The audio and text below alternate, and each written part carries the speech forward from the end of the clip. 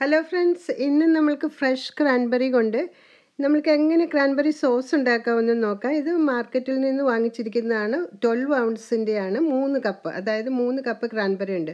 ഇഷ്ടംപോലെ vitamin C ഉള്ളതാണ് cranberry എന്ന് പറയുന്നത്.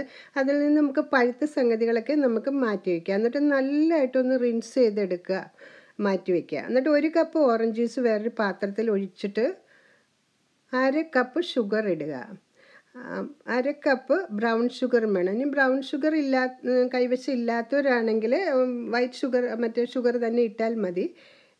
എന്നിട്ട് അതിലേക്ക് നമുക്ക് ഒരു one four half cup water ഒഴിക്കണം. ഹാഫ് കപ്പ് വാട്ടറും കൂടി ഒഴിക്കുക.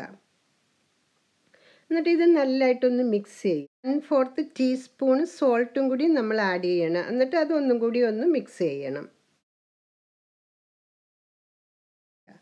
അതിലേക്ക് നമ്മളൊരു ഒരു ടേബിൾ സ്പൂൺ ഈ ഓറഞ്ചിന്റെ തൊലി ഇങ്ങനെ ഉരച്ചെടുത്തിട്ട് ഓറഞ്ച് സിസ്റ്റ് അതിലേക്ക് ഇടുക. ഇപ്പോൾ ഓറഞ്ചും ഇല്ലെങ്കിലും അതും വേണേൽ നിങ്ങൾക്ക് അവോയ്ഡ് ചെയ്യാം കേട്ടോ.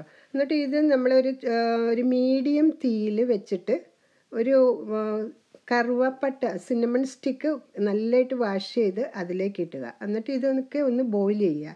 ബോയിൽ ചെയ്ത് കഴിയുമ്പോഴത്തേക്കും നമുക്ക് ഈ മൂന്ന് കപ്പ് ക്രാൻബെറി ഇല്ലേ അത് അതിലേക്ക് ഇട്ട് ഒന്ന് ഇളക്കിക്കൊണ്ടിരിക്കുക. ഇത് ഇടയ്ക്കിടയ്ക്കൊക്കെ ഇളക്കിക്കൊണ്ടിരിക്കണം കേട്ടോ. എന്നിട്ട് ഇതേപോലെ ബോയിൽ ചെയ്ത് കഴിയണം. പതിനഞ്ച് മിനിറ്റ് ബോയിൽ ചെയ്ത് കഴിഞ്ഞ് നോക്കുമ്പോൾ ഇതേപോലെ ഇരിക്കും. എന്നിട്ട് ആ സിനിമൺ സ്റ്റിക്ക് എടുത്ത് നമ്മൾ മാറ്റി വയ്ക്കുക. അത് കഴിഞ്ഞിട്ട് ഇത് നല്ലതായിട്ട് തണുക്കുമ്പോൾ നമ്മളൊരു മിക്സിയിലിട്ട് ഇത് അരച്ചെടുക്കുക. ഇത്രയേ ഉള്ള സംഗതി. എന്ത് ടേസ്റ്റ് എന്നറിയാമോ ഇത്? നിങ്ങൾ ഇനി ഇത് ഒരിക്കൽ വീട്ടിലുണ്ടാക്കിയാൽ നിങ്ങൾ മാർക്കറ്റിൽ പോയി ആ ക്യാനിൽ വരുന്നത് ഒരിക്കലും വാങ്ങിക്കത്തില്ല. അത്ര ടേസ്റ്റാണ് അപ്പം എല്ലാവരും ഉണ്ടാക്കി നോക്കണം. അപ്പം ഞാനിത് രണ്ട് പ്രാവശ്യമായിട്ടാണ് ഇത് അരച്ചിരിക്കുന്നത്.